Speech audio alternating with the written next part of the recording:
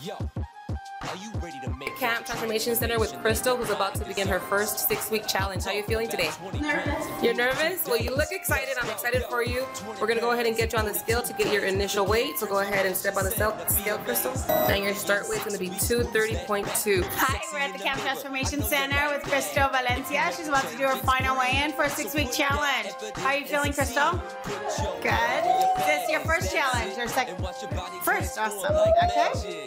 Let's do this. Awesome. 206.5. Woohoo. And don't be a stranger. Your vet's funeral is coming. Shedding that weight. Yeah, I know you want it.